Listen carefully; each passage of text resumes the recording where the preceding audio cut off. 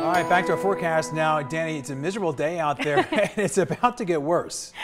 That about sums it up, Yeah. Todd. I couldn't have said it better myself. That widespread heavy rain really settling in now. This is a live look from Live Drive on the 215. Traffic building up with ponding on the roadways. Plenty of raindrops on the windshields. Take it slow if you have anywhere to be. And if you can, maybe push those errands back a day or so. Tomorrow will be completely dry, but through the remainder of this evening, this is what we have to work with. Desert Doppler showing widespread rain across the valley. We'll zoom in here to the uh, northwest valley where the rain intensity is starting to settle down, but you see the rain itself isn't wrapping up. The heaviest rain now shifting into North Las Vegas. It looks like Aliante and Craig Ranch still picking up some moderately heavy rain. Now on the east side today, things have been mostly calm, but uh, not the case anymore. That rain is starting to slide east of the 15. You see Lake Las Vegas down through Henderson, up through Nellis, all seeing that moderately heavy rain. This is going to continue tracking north and east up the 15, eventually heading to Moapa Valley and Mesquite. Now south of the valley, this is where we've seen uh, quite a bit of action over the past 30 minutes or so. Really heavy rain pushing into the area of South Point, really up and down the 15 corridor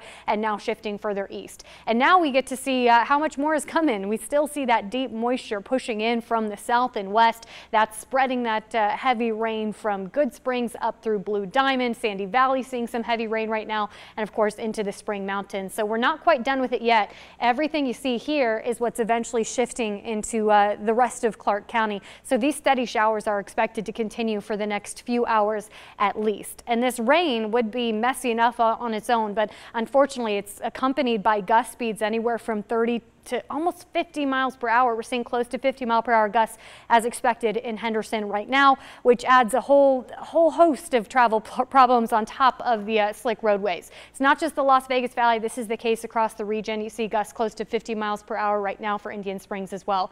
Want to kind of paint the uh, picture here with the our with our watches and warnings and advisory map. There's so much going on here. The green flash flood watch for Mohave County, high wind warning for the Colorado River Valley and southern Clark County wind advisory here in the Las Vegas Valley, and of course the winter storm warning for the mountains. In the Las Vegas Valley, this advisory until 4 a.m. tomorrow with gusts to 55 miles per hour. We've already seen it, so right on target. Colorado River Valley, gusts could be up to 60 miles per hour through first thing tomorrow morning, and in the mountains, gusts to 60 are really contributing to the travel problems as well as the heavier snow. We're in the thick of it right now. This is the main event, and we have a couple more hours where we could see that widespread, consistent rain. But once the sun sets, the widespread rain becomes becomes a little more widely scattered. We're not done with the rain chances yet, but it becomes a little more hit or miss. Once we get toward 9, 10 o'clock tonight, that's when we'll call it isolated. But keep in mind, we're seeing that and feeling that colder air filter in, so the snow levels will drop. Some of the communities on the edge of town, slightly higher elevations, could see a few snowflakes mix in. It, takes us until overnight into tomorrow morning for that cloud cover to completely clear. Our rainfall totals are expected to be pretty impressive, over tenth of an inch up to three tenths of an inch, and snow in the mountains even more impressive impressive to go along with those 60 mile per hour gusts. Our peaks will pick up close to a foot and we'll see four to six inches above 5,000 feet. We're already seeing two or three so far today. Temperatures behind this front drop. So although tomorrow is sunny, it is going to be cold. Our lows fall to the 30s with highs close to 50 for the rest of the week.